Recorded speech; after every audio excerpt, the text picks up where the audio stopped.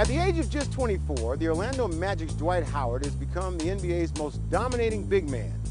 This season, Dwight was named Defensive Player of the Year for the second straight time and became the first player to lead the league in blocks and rebounding two years in a row. Watching him play with his size, his skill, and his power, he can seem like a basketball superhero who's larger than life. But there is much more to Dwight Howard than meets the eye. When you were in the 10th grade, you wrote a proclamation of your goals in life. What was on that list? The big one was changing, you know, the way people look at NBA players. You know, all of us get put in a certain category, you know, and I just, I wanted to always change that, that view of all NBA players. This is Dwight Howard, take one. Swipe take four. Hey, you know this guy? Hey, world. Uh, Dwight has the charisma of a born entertainer. Now it's taken him into the world of acting with his role in the movie Just Wright. Oh, well, there's a rumor going around that's saying the Nets. Is acting something you want to do maybe later I on? I do. I want to do it now. Really? Why Yeah. you working? You still want to? I still want to do it while I have the opportunity to. Yeah. But that's seriously what you want to do. You want to I be do. an actor. I do. I, I enjoy it. Tell me about impressions. I know that's something you like. Where'd that come from? How, how'd you get started doing that? I've been doing it my whole life. Everybody down, do it now. Everybody down, get down, get down. It's the governor. Dickie V, baby. He's a PTP. Oh, Elizabeth, I'm coming home. I'm coming home, Elizabeth. You just have an ear for it? Yeah. I might hear somebody talking and like if I keep hearing it, I'm like, okay, I'm gonna pick up on this in a minute. And then after a while, I got it. Kenny Ernie, but then LeBron James quit basketball today. He will be the greatest player to ever play the game. Why? Because he LeBron James.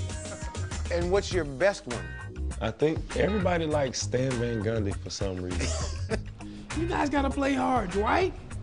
No one-handed rebounds tonight. Grab the ball with two hands.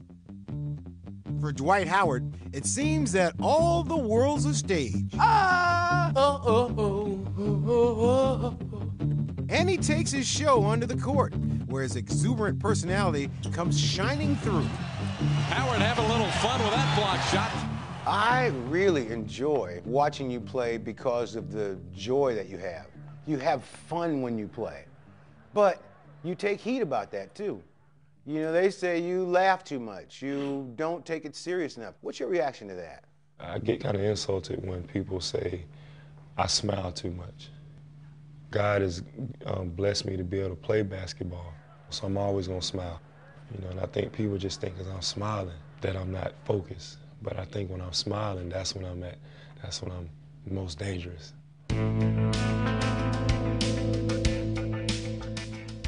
People do not understand how much work goes into being who you are. Mm-hmm. You mentioned God gave you a great body, gave you a lot of ability, but you have to still go put the work in. Yes. And that's the part that I don't think people understand how much work you put into your game. I'm a gym rat.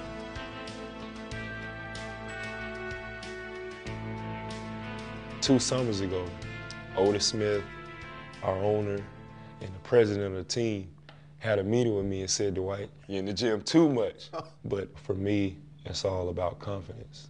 That's the thing that I've been really working on is confidence. My teammates said, man, you shoot the ball so good in practice. And then I get in the game and I'm like, I don't want to fail. You know, so that's that's the area that I'm trying to grow out of is not being afraid to fail. The Boston Celtics are going back to the NBA Finals as Dwight Howard and the Magic are done for the season. After losing in last year's NBA Finals, the Magic season ended one round earlier this year with a defeat in the conference finals. And for Dwight, being a superstar athlete doesn't shield him from the pain that comes with failure. You're just normal. You're Yeah. just like everybody else that happens to be a professional basketball player. You know, we have problems, we have feelings, emotions, all that stuff.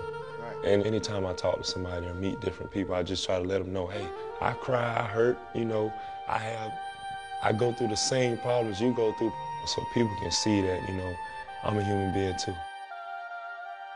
One of the things that Dwight is most proud of is the fact that all this fame hasn't changed him. And even with the glare of the spotlight, he hasn't lost sight of what's important.